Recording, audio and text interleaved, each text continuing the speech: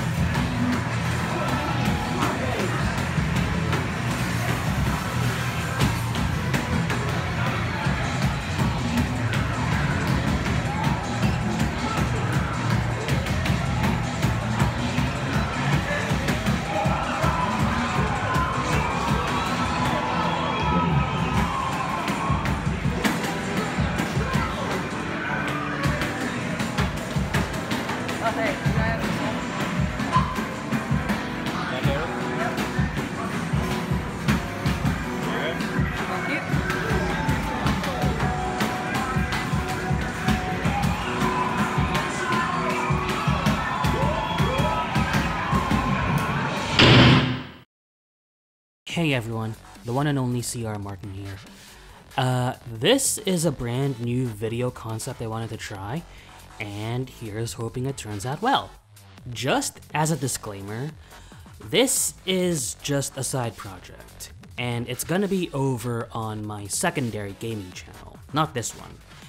This is just a preview of sorts. Don't worry, I'm not gonna stop my reviews or abandon cartoons and animation. As most of you know by now, I'm a fan of Dance Dance Revolution. I've used a lot of music from the series in the backgrounds of my videos, and if you follow me on Twitter, you'll notice that I share videos of myself playing the game and shouting out people and tagging them. And I thought to myself, why not share that content on YouTube and add a little bit of commentary to it? You know, give some insight. So here we are.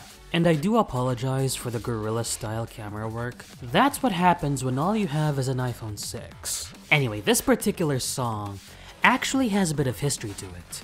Back in the very first DDR, this was one of the two quote unquote boss songs. I say quote unquote because back then, DDR didn't have any bosses.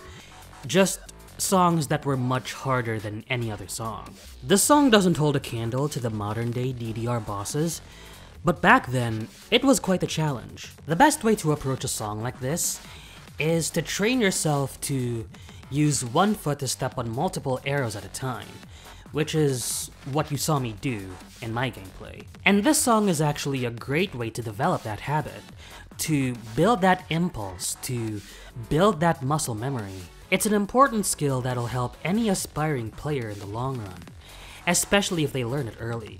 Anyway, that's gonna be it. Uh, thank you guys for watching.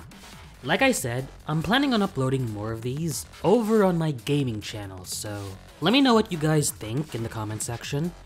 What's good, what could be better, because I do want to broaden my horizons. And yeah, that's it. Until next time, I'm the one and only CR Martin, and I'll see you guys later. Ciao for now.